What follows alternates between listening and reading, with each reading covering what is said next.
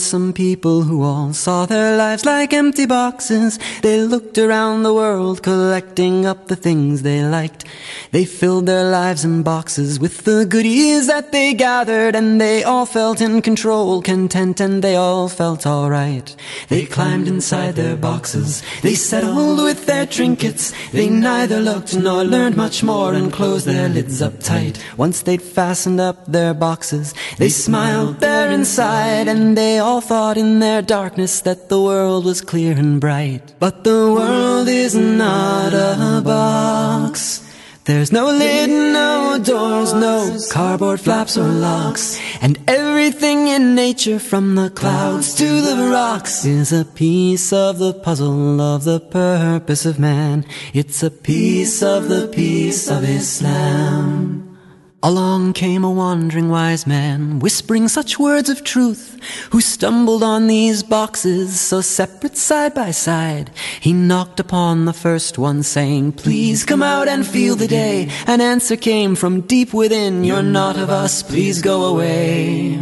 He approached the second box and tapped thrice on the lid, saying, Peace to you inside, shall I show you a new way? Someone peeked out from a crack and said, You may just have a point, but it's so comfy in my box. In my box here I will stay. But the world is not a box.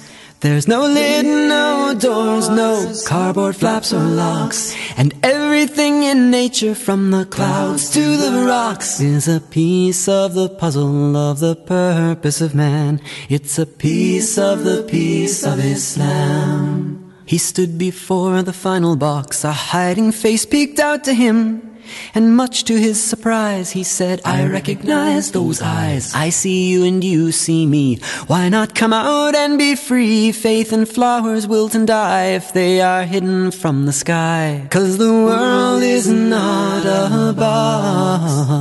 There's no lid, no doors, no cardboard flaps or locks. And everything in nature from the clouds to the rocks is a piece of the puzzle of the purpose of man.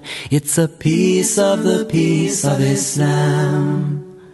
Now centuries lie between all the prophets and you and I. Civilizations are born and die each and every day. We see good and bad and happy, sad and mad mistakes we wish we hadn't made in our attempt to try and live up to their way. But if we hide ourselves away, Afraid to grow and learn, we might wake up in the flames of the ignorance that burns, and we'll never be much more than only casualties of war in a struggle we can't win if we have no faith to begin. We've got to tip the lid and let some sunlight in. Cause the world is not a box. There's no lid, no doors, no cardboard flaps or locks. And everything in nature from the clouds to the rocks is a piece of the puzzle of the purpose of man. It's a piece of the peace of Islam.